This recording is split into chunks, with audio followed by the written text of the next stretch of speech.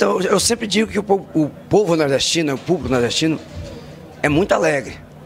Apesar de ser uma região do país que o povo muito, muito sofrido, tudo, acho que o povo acostumou tanto e, e acabou criando essa, essa força gigante que, que é, é a alegria que o nordestino tem. Vocês, o nordestino começa a manifestar a sua alegria desde quando, desde quando começa a tocar Luiz Gonzaga, um forró pé de serra, passando pelas bandas mais modernas hoje, entrando pelo sertanejo.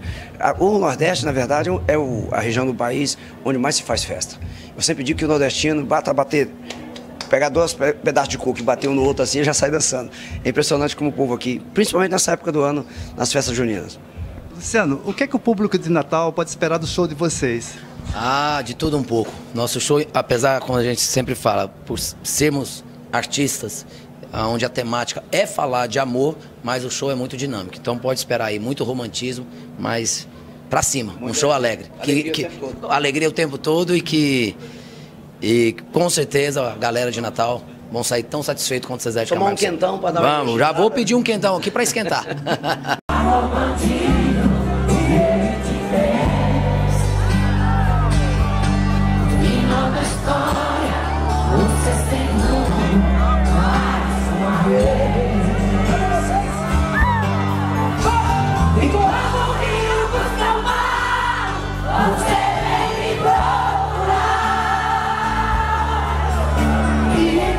you.